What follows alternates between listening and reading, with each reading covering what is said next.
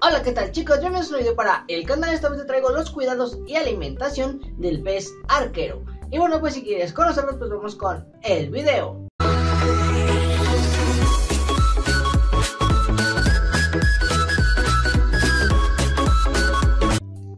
Y bueno chicos, el pez arquero llega a medir más de 20 centímetros cuando es adulto. No obstante, normalmente no supera los 24 centímetros de longitud en cautividad.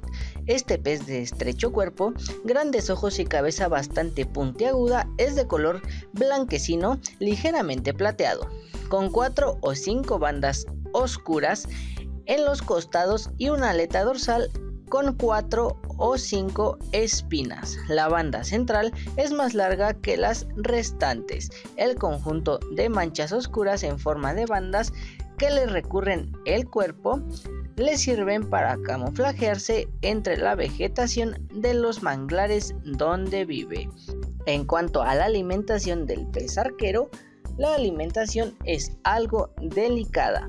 Por un lado, prefiere alimento vivo al alimento preparado o comercial. Y por otro, se interesa solo por aquellas presas que encuentran sobre la superficie del agua. Sin embargo, también es verdad que se acaba acostumbrando a la comida congelada como larvas de mosquito, tubifex o artemia. Puedes tomar animalillos muertos como gusanos, y otros insectos o comida deshidratada para peces. Cuando vayas a comprar este pez, te recomiendo que preguntes qué alimento le daban para que si sigas la misma dieta. Este animal se alimenta de insectos, puesto que se trata de una especie insectívora. Come moscas, saltamontes, grillos, cucarachas, arañas, entre otros. Prefiere insectos de gran tamaño en cualquier caso, nunca le deben faltar los, insectos que saben volar. En cuanto al acuario, el acuario adecuado para esta especie debe ser de un gran tamaño, de 300 litros como mínimo. Se recomienda una capacidad mínima de 300 litros para albergar a 4 peces arqueros adultos. El acuario debe disponer de una zona no cubierta por el agua donde se pueda introducir a los insectos que forman parte principal de su dieta. En cuanto al plantado, debe de tener las plantas. Eh, bueno, yo te recomiendo que le pongas balisnerias, bueno, de la familia balisneria o sagitaria. En cuanto al plantado, debemos bueno, es una buena idea poner este tipo de plantas, pero debemos de tener en cuenta en dejarles un gran espacio para que naden con comodidad. En cuanto a las condiciones del agua, debemos de tener una temperatura entre los 24 y 28 grados centígrados.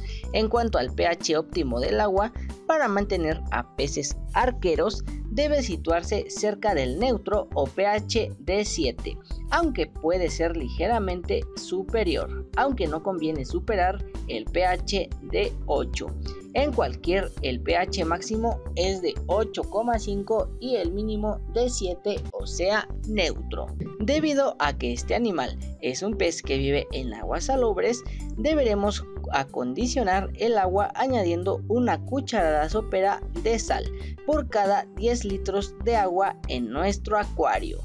En cuanto al mantenimiento de este pez, es un pez en un principio tranquilo, por lo que no deberías tener ningún problema de convivencia con nuestros peces. La práctica es algo muy distinto. De entrada, aunque el pez arquero es un animal pacífico que tolera perfectamente la presencia de otras especies, no sucede lo mismo con otros peces de su mismo género por lo que es recomendable mantener a esta especie sola sin la presencia de otros peces arqueros de otras especies. Es un animal territorial, lo que significa que pueden producir peleas entre machos de pez arquero de su misma especie, sobre todo cuando se encuentren en poco espacio.